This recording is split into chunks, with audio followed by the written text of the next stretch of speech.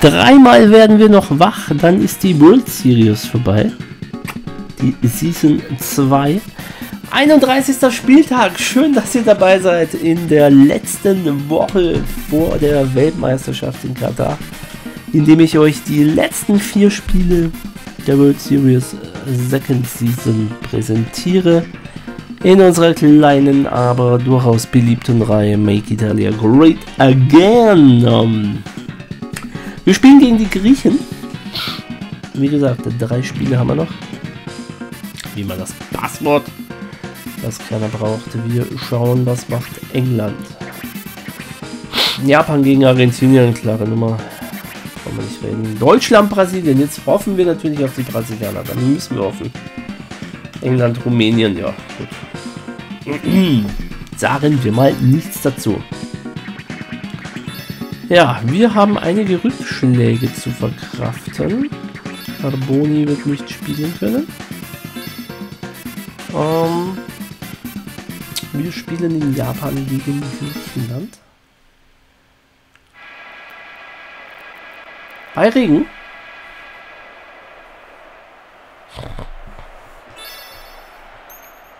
Schauen mal.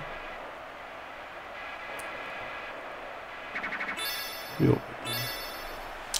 Die Griechen gewinnen die Seitenwahl.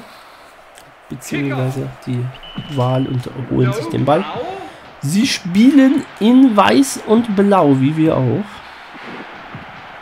Wie aber im traditionellen blau-weißen Gewand in Azurblau. Erst einmal gewonnen die Griechen. Keiner kann sich so recht vorstellen, dass hier gegen Italien der zweite Sieg stattfinden soll. Aber wir haben alles schon erlebt. Ja, gegen die Österreicher im Spiel davor. Oh, da halt Pasaro. Gegen die Österreicher musste Pasaro passen. War nicht in Form, jetzt ist er wieder da. Macht das Tor. Also, beim 7 zu 1 gegen Österreich war er nicht dabei. Jetzt macht er den Führungstreffer gegen die Griechen. Oh, der Ball ist schwer. Passspiel ist wohl nicht so das Optimale hier. Hey, Ja, klare Gelbe für Geldfahndung. Brauchen wir nicht reden. Klare Gelbe. Ganz klar. So, also wie gesagt, der Boden tief. Jawohl. Pasaro. Ja, was soll man dazu sagen? Was soll man dazu sagen? Goldjunge. Großartiger Spieler.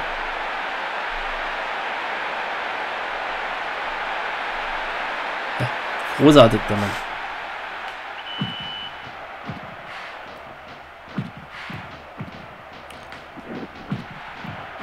So.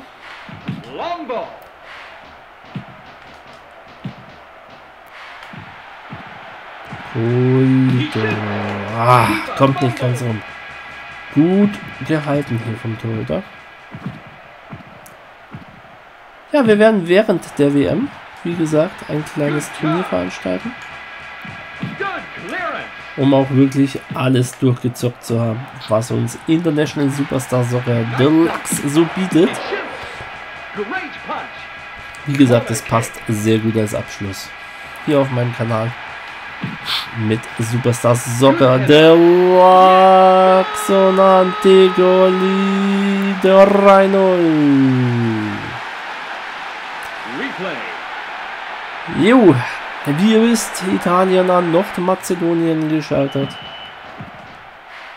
Wie euch vielleicht auch bekannt ist, Nordmazedonien anschließend dann an Ronaldos Portugal.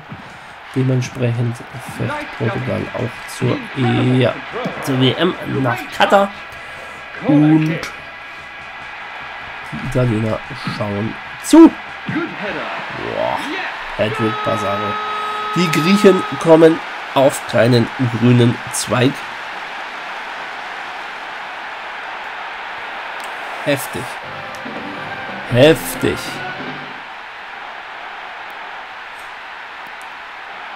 Replay. Heftig. Nicht schlecht.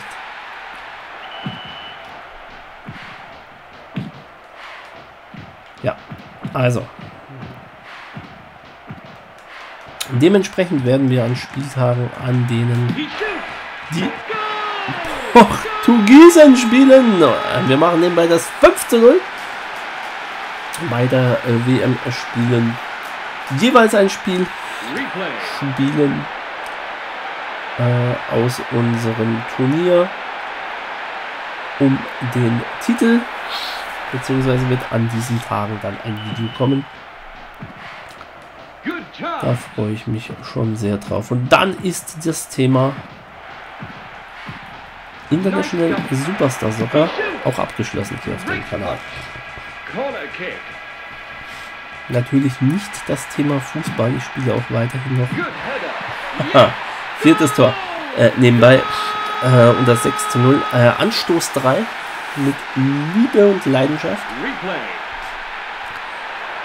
Und habe auch Bock, muss ich sagen, eventuell mit euch Pro Evolution Soccer 6, mein liebstes Fußball-Simulations-Game zu zocken. Wenn das so läuft, wie ich mir das vorstelle.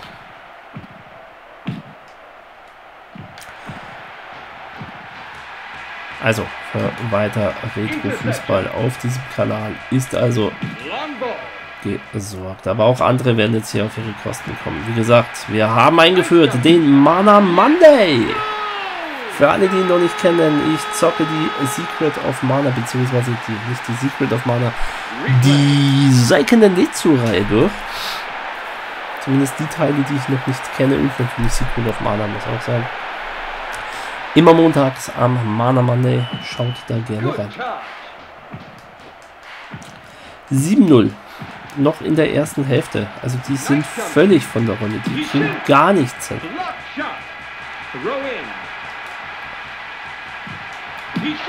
Ja. Jetzt ist halt die Frage, machen wir es zweistellig? Eieieiei.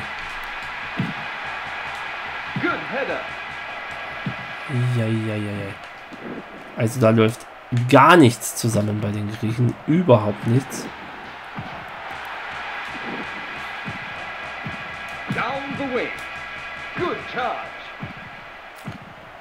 Und auch wenn Colito bei dem Boden langsam müde wird, wäre es das richtige Spiel, um es zweistellig zu machen. Noch ein Minütchen in der ersten Halbzeit. Weiß ich nicht, ob wir das hinkriegen, aber wir probieren es auf jeden Fall. Ich habe Bock, die jetzt hier zweitstellig vom Platz zu fegen. Wie gesagt, wir hatten eine kurze Schwächelphase in der World Series. Second Season mit zwei, drei echt saudummen Niederlagen, muss man jetzt einfach mal so sagen, die uns Tabellenplatz 1 kosten werden, ganz klar.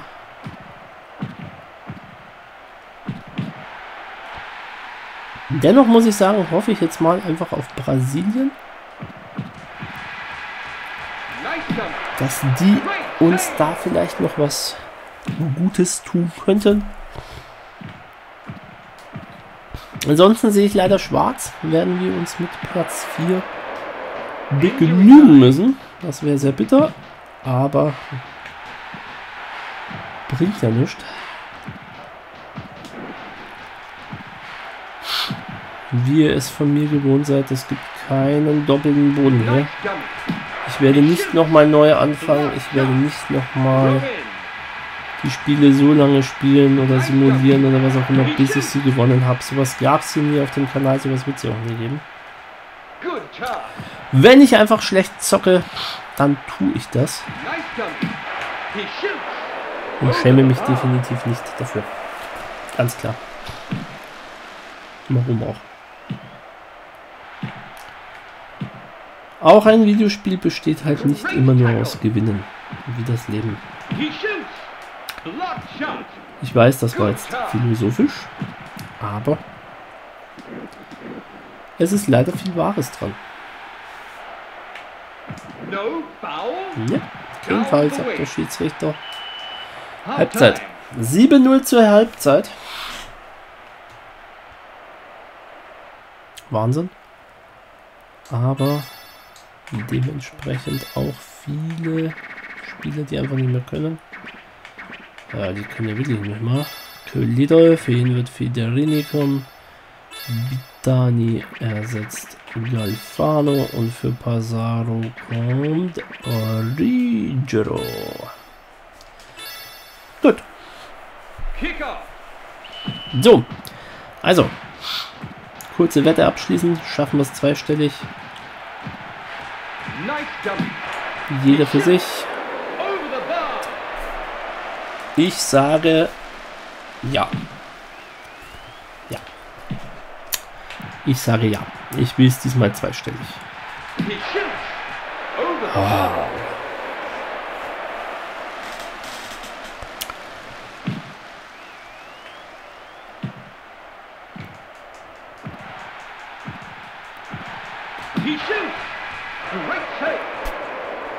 Kosmidis stark gefordert, denn die Italiener rollen den nächsten Angriff mit dem nächsten Angriff über die Griechen her. Also Griechenland bisher nichts auf die Reihe gekriegt, muss man fairerweise sagen. Und er trifft auch nur die Latte. Also Fiderini, Fiderini, Fiderini.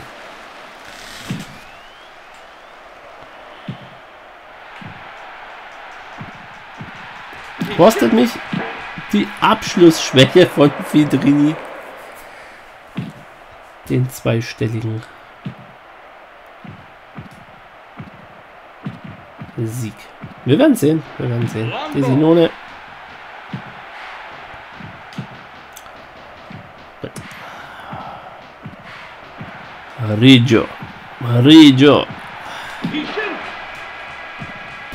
Sich dann einfach den Ball abnehmen, der gute Reggio. Also, so werden wir auf keinen Fall zweistellig gewinnen. In. So auch nicht. Hm,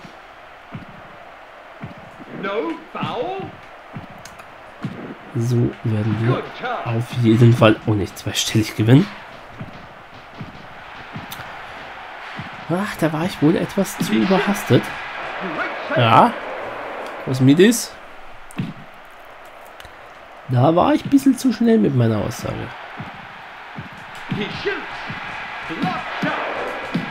Ja, aber da ist zumindest schon mal das dritte Tor von Antik Olli. Zum 8 zu 0. Otto Essero. Jo, Antigolli macht das Tor. Da sind es nur noch zwei.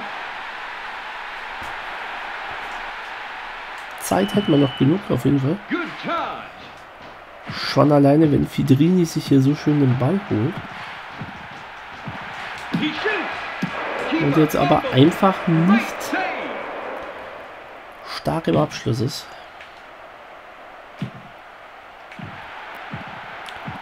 Die Griechen machen es uns aber im Moment aber auch nicht allzu schwer, muss man fairerweise sagen. Ah. Premolli mit Gelb. Also zwei Tore in zwei Minuten. Das ist machbar. Ich werde auch nicht angegriffen, komischerweise.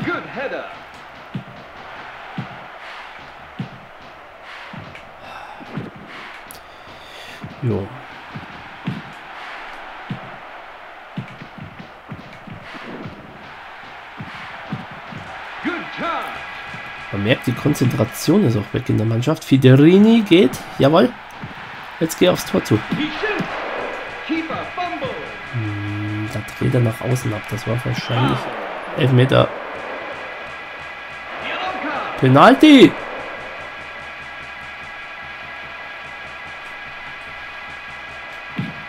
Komm, du Sau.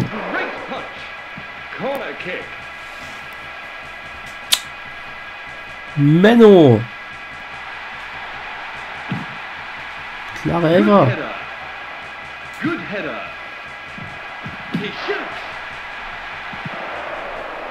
Klare Elfer. Für mich zumindest.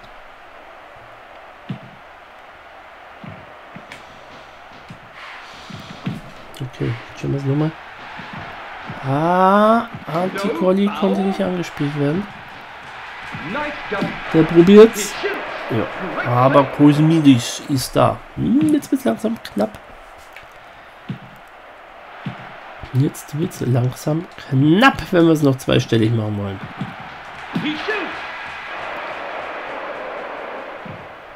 Unmöglich ist es definitiv nicht. Schon allein, weil Fiderini die Möglichkeit hat, aber er macht es nicht. Kosmidis auch gut gestanden, muss man jetzt tatsächlich aber auch zugeben. Lang auf der Linie geblieben. Ja, kann ihn nur drüber helfen.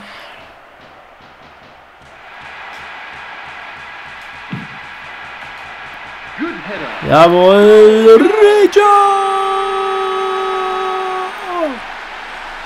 9-0! Einer fehlt noch, Leute! Einer fehlt noch! Und jetzt alles nach vorne! oh,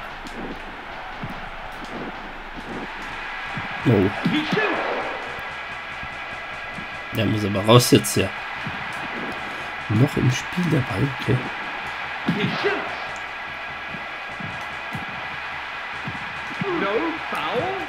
Ja, jetzt muss Fidrini nochmal loslegen. Darf sie jetzt nicht einholen lassen. Muss den Abschluss suchen, findet ihr nicht.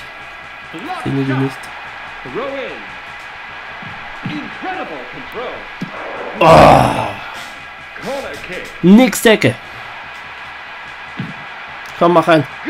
Renisa! Reja! 2-0! Jawoll!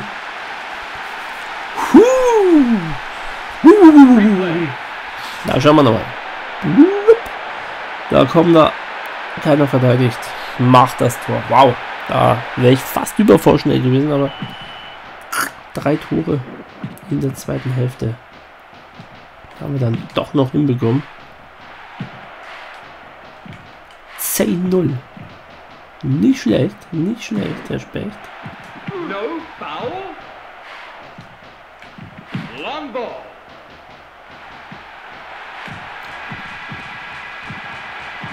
Ja. Goal. Anticolli macht sich's einfach 11-0. Bravo, Italia. Hätte ich nicht gedacht, dass wir es 11 noch machen. Sah jetzt nicht so aus.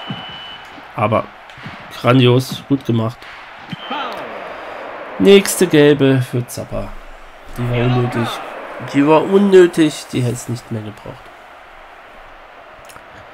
So, also wir haben unsere Hausaufgaben mehr als gemacht. Wir sind definitiv auch das Team mit den meisten, äh, meisten Toren, das die meisten Tore erzielt hat. Ganz klar. Das ist nicht das erste Spiel, das wir tatsächlich zweistellig gewinnen, aber wir haben auch schon natürlich Spiele verloren, die es uns extrem bitter gemacht haben jetzt. Hier. So, Pfeife ab, komm. Das interessiert jetzt hier keinen mehr. Anticoli, Anticoli, nochmal. Ja. Und dann ist Schluss.